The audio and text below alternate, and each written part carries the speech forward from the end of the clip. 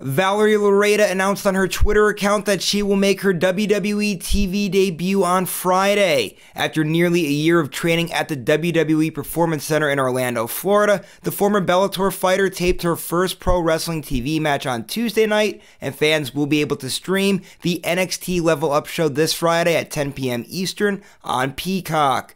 Loureda now goes under the ring name Lola Vice, and while Friday will mark her first televised appearance, it won't be her debut as her first match took place at a non televised house show on November 12th.